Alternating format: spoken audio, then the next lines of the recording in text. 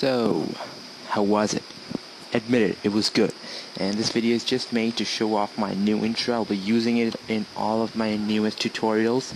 And this video is not nothing. Don't expect anything from it. It's nothing. It's just to show off my new intro. So that now that you've seen it, thanks for watching. Hope you like that intro. Please comment below if you like it.